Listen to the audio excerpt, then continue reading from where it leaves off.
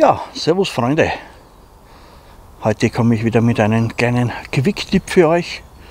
Ihr habt heiße Pfanne oder heiße Tassen oder heiße Becher, heiße Hefeln, habt keine Handschuhe dabei und wisst nicht, wie ihr sie vom Feuer wegbringt oder von eurem Koch herunter, weil man die Henkel nicht angreifen kann, weil es so heiß ist.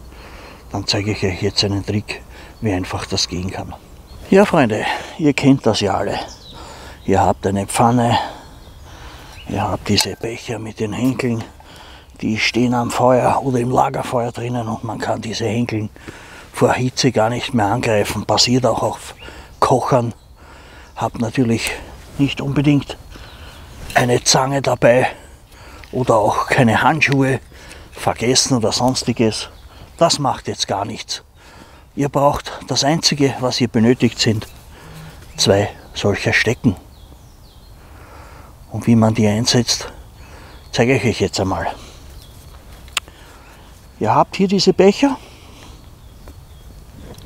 Stelle mir in den Vordergrund.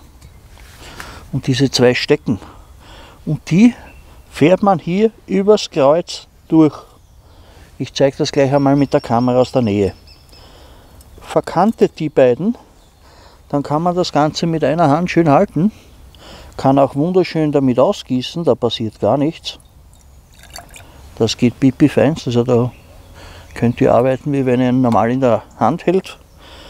Beim Runterstellen einfach wieder ablassen, die Spannung entnehmen und die Steckerl rausziehen und das war's. Aber jetzt schauen wir sich das näher an.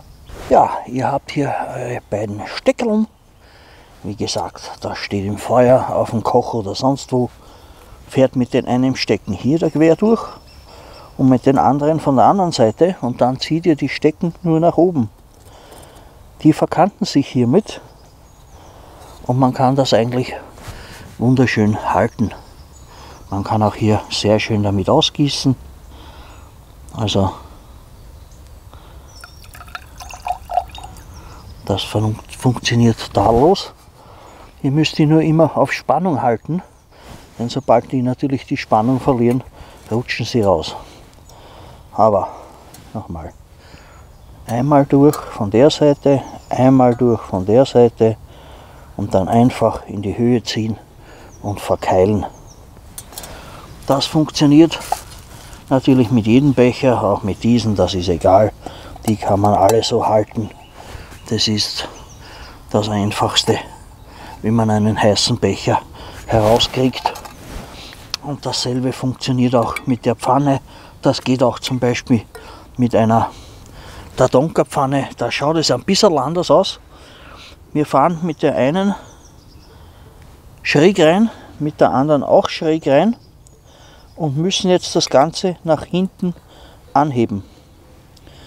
Wenn hier ein Gewicht drinnen ist, dann hält das sowieso noch viel besser. Je schwerer, desto besser hält es.